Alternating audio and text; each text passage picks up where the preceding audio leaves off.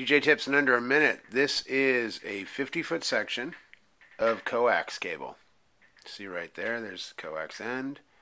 But it's also a 50 foot section of RCA cable. What I have done is I've used an RCA adapter and hooked it right into the coax.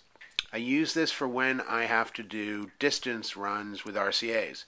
Probably the biggest one I come in play with is somebody wants to do a video montage and the screen and projector are across the room and it's tough to run RCA cabling that far, let's say 20, 30, 40, 50 feet, because you lose signal. So I just take some coax, I get a couple of these bad boys, and I can run it that way. And it's a great way of keeping things safe and sound and better quality, and you are good to go. So use coax with RCA end, and you're done in under a minute.